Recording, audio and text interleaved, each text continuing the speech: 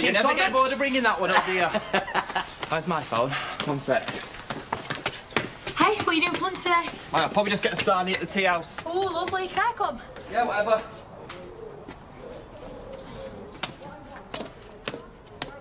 You alright? Not really, no.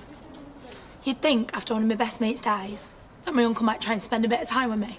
Yeah, but Ste's busy with work and everything. And what about you?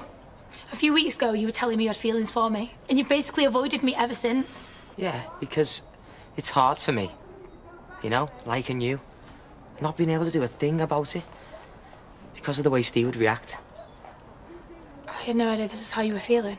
Well, would you believe that? So it's in the last place you look, innit?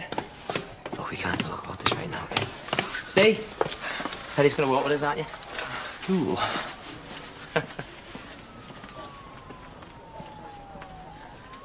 Just one person. Yes? Hey, um, I was just about to go grab a coffee if you fancy one. In there? I Don't think so. What's up? Some troll keeps making these horrible meme things about me. That's awful. Mum's pretending we don't know exactly who it is. Ste and his cronies tried to humiliate us at the fete the other day, and now this crops up. You think Ste did this? I don't even think he knows what a meme is. Who else would it be? Hi, Pez. Wanna make some tea? You hungry? Did you do it? Did you make that meme thing about Misbah? Don't know what you're talking about. I tried telling her there was no way you'd be that cruel. But then I remembered all the horrible things you said about her recently. Recently, or you mean since you killed Tegan? Hey, listen.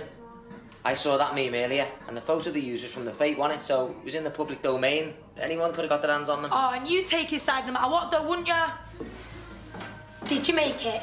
Yes or no? A joking internet think having a pop at that woman is the least you deserve. Did you do it? Well, yes, I did. And do you know what? I'm proud. Oh, he's angry, okay? It's understandable. Yes, is my best mate. Well, so what? Your best mate and a family are scum. Don't you dare talk about them like that. Well, why not? It's true, Peri. But you're just an immature little kid that's too stupid to see what's going on right in front of her.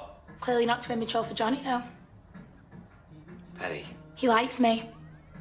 And the only thing stopping him is you. So you can't see what's going on right in front of them now.